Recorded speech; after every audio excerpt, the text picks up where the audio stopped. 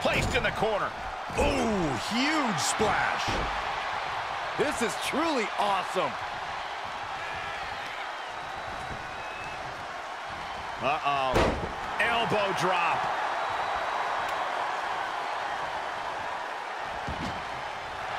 Cold letting feel it. With a championship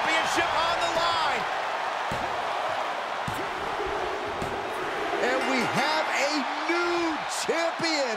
Unbelievable.